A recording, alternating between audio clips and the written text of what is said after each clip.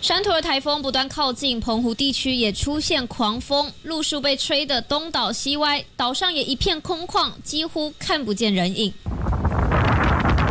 不止如此，路边还有好几台摩托车都被强风给吹倒。受到山陀尔台风影响，澎湖岛上二号测到最大阵风高达十二级。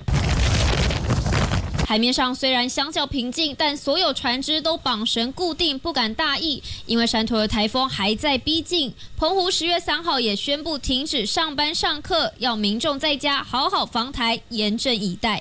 东森新闻董志斌澎湖报道。